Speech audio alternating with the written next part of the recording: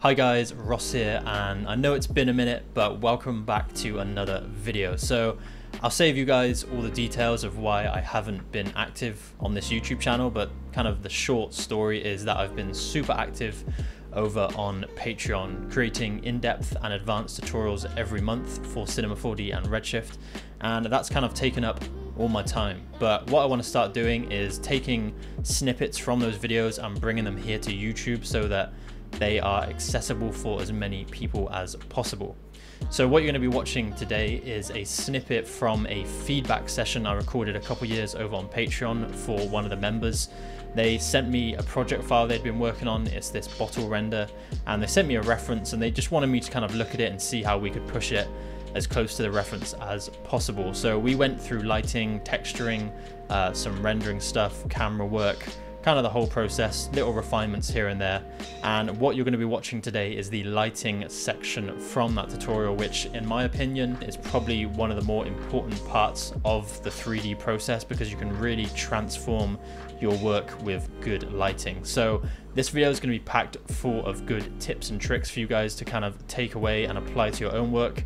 And of course, if you want to watch the full video where we dive into the rest of the process, like I just mentioned, texturing, camera work, rendering, uh, then you can go and check that out on Patreon. But if not, enjoy this video and make sure to hit that like and subscribe button so you don't miss any future content.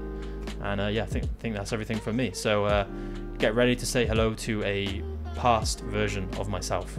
All right, see you in a bit. Peace.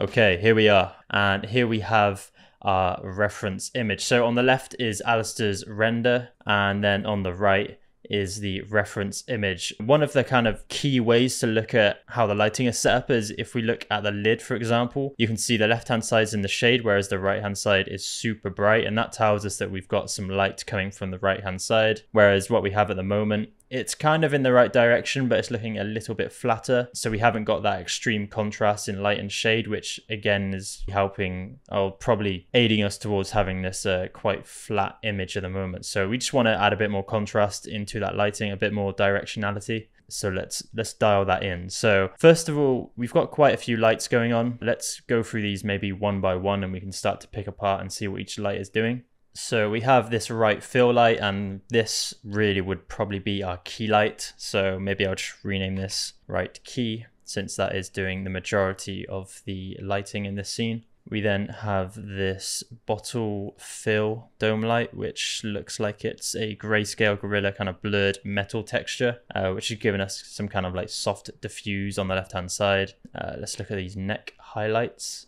Okay, that's just giving us some like subtle reflections. Then we have bottle highlights too which is actually an outdoor HDR. So I would probably, if we're going to create a studio product lighting setup, I would be inclined to use an actual interior HDR, just because you do want to keep it real to the actual environment that it would be in if it was real life. So I'd be tempted to either get rid of this or swap it for a different HDR, but we'll disable that for now and just look at this final dome light. And that looks like it's the same dome light, but at a different rotation. So if we combine all of these, this is the image we're getting. So uh, what I would be tempted to do is usually when it comes to lighting, less is more. So if I can achieve the same look in as little lights as possible, then that's a good thing. It's obviously going to make the render times quicker because there isn't as many lights to process, but also it just makes the whole setup a lot easier to, to work with. When you have so many lights doing so many little different things, it can make it a little bit more complicated and usually more complicated than it needs to be. So let's start off with this right key light because this is going to be our key light, I do want it to light the whole scene. So at the moment, we're using this softbox fabric texture, softbox large. So one of the first things I want to do is I want to use this to, to light the whole scene. So I'm actually going to increase the width of this and that should help to just, yeah, fill more of the scene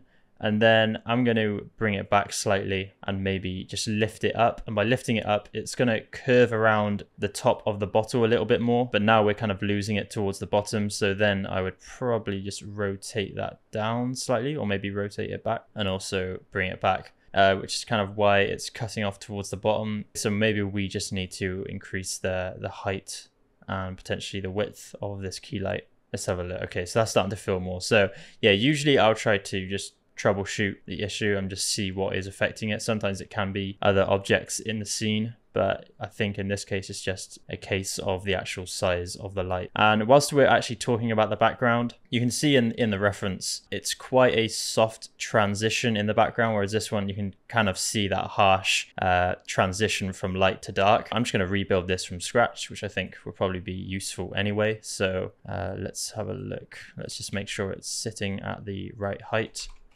There we go. That's cool. Uh, and let's just delete that original one. So we can create that same setup pretty easily with a plane and a bend deformer. So whilst we have the plane selected, let's hold shift and select our bend deformer. That'll make it a child and increase the strength to 90. Hold shift to move in increments of five degrees and rotate this so that it's already kind of on the right angle. Um, but now we need to increase the y axis. So now we're actually going to get that curvature from the bend. And now we just need to rotate it backwards 90 degrees.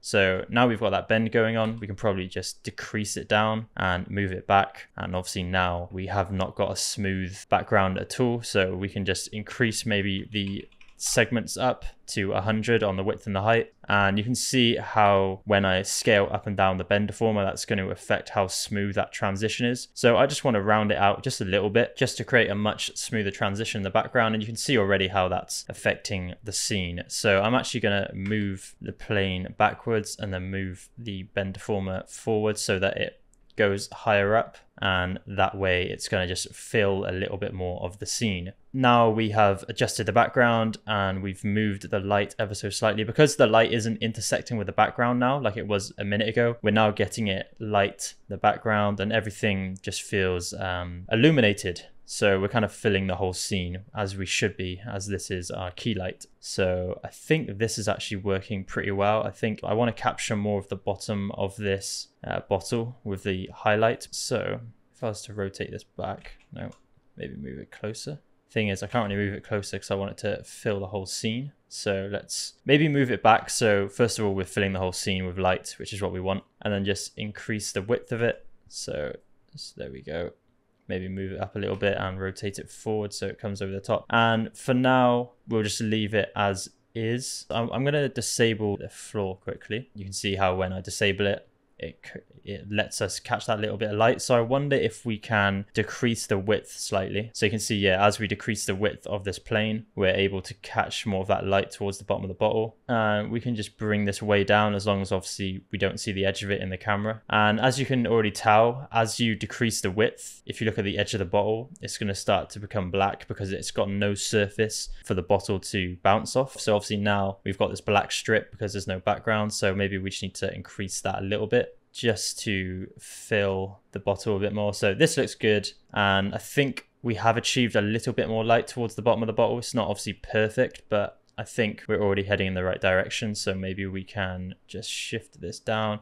And what I actually might do is just put a target tag on this light and target that towards the bottle. And now we can move this light around much easier without uh, having to constantly rotate it and reposition it. So let's have it around about here, I think. So it's kind of arching over the top and let's maybe move it just so it's slightly behind the bottle and that way we're going to get more of that contrast in that lid. So you can see as I move it forward, it's going to fill more of that lid and that way we've got a little bit more contrast. So I think now we can get away with increasing the width a little bit and I think I'll just decrease it a little bit. So I'm going to put the spread down to 0.5 and you can see already that's going to make that a little bit more intense. And what I'm trying to do is create a nice harsh edge to our highlight. At the moment it's quite soft. So maybe I'll try a different texture. I'm going to grab one of the softbox fabric one. This is my classic go-to. Let's try to turn the spread up to one, see if that changed anything. Okay, so you can see already that's a bit harsher, but now it's a lot weaker. So maybe we'll just increase the intensity to kind of balance that back out. There you can see now we've got that much like harsher edge to our light, which looks good. And now we could probably bring it down a little bit. And probably I would just dial that back. So maybe like eight intensity, maybe we'll put the exposure back down to zero Okay, cool. This is looking good. So another thing I'm keeping in mind is that you want to have some sort of gap between the edge of the bottle and the highlight. Otherwise, if you run it right to the edge, obviously we can't anyway because the background's in the way, but it would basically blend the bottle into the background and you want to be able to create some sort of separation. So I'm just going to move that around a little bit and now maybe we can increase the height and see if we can catch her a little bit more towards the bottom, but I don't think so. So, and then we should increase that width. And I think that's looking good. So if we look at our clay render, we can kind of see the lighting we're getting. And yeah, okay, so it looks like we've got some temperature in here. So I actually want to just get rid of this. So I'm just going to set it to color for now, because obviously we've added a lot of like cool tones to that light. So now you can see we have a white background. Uh, before we had color and temperature enabled and it had be and it had been increased to 8500. The default is 6500. That would just be like a neutral temperature so that you can see that gives us like a nice clean result. If you decrease this number, you're going to get a warmer light and if you increase it you'll get a cooler light so we had it on 8500 so the light was quite cool and uh, I think we just want to leave it on 6500 or just change it to color and now we've got a nice clean result so the next thing we'll do is add in some of those reflections we were getting on the left hand side here uh, which we already kind of had going on. But as I mentioned, we were using an exterior HDR. So I'm actually going to just bring in a new dome light and I'm going to get a bathroom. So at least we're using some sort of interior um, and we'll get some interesting like interior reflections. And what I'll do actually is I will disable the key light for now just so I can focus on the dome light. So straight away, even just rotating it around to the right like this, I think that looks good as is. So if we now just turn on our key light, you can see we've got those reflections coming through. Uh, what I'd actually now do is because obviously they're super bright compared to our key light, we just want to make them a lot more subtle. So I'll drop it down to maybe like minus two. There we go. And now you can see some of those reflections coming through and it's important to make sure you're using the right working space. So we'll set that to scene linear rec 709 sRGB. And now we can enable that key light and this is looking good. So straight away, if we just compare it to the original, uh, we have that stronger kind of sense of direction from the lighting with a strong key light on the right hand side and then some subtle reflections on the left. And we've also got a much smoother background with quite a just like white, soft backdrop as opposed to like seeing that harsh kind of change in light. Okay, so that was the lighting section from the Patreon tutorial. If you want to watch the rest of the process where we dive into texturing the bottle, texturing the marble on the floor, uh, we dive into some Redshift post effects and how we can do that to add some grading to our render and really take it to the next level whilst keeping it all in Cinema 4D, then feel free to go and check out the Patreon page. Uh, as well as this tutorial, there is about 50 other tutorials on there. You also get access to my exclusive Discord community with other like-minded artists trying to improve their 3D skills, which is a really active community and a great place to be to learn from one another and also just to talk to other people and talk about cinema and talk about other software and just a great place to hang out. So if that sounds like something you'd be interested in, I will drop a link down in the description below. Uh, go check it out, see what I've got to offer, and hopefully I will see you over there joining the community of other members. So thank you again for watching and enjoy the rest of your day wherever you are in the world and I will catch you in the next video. Peace.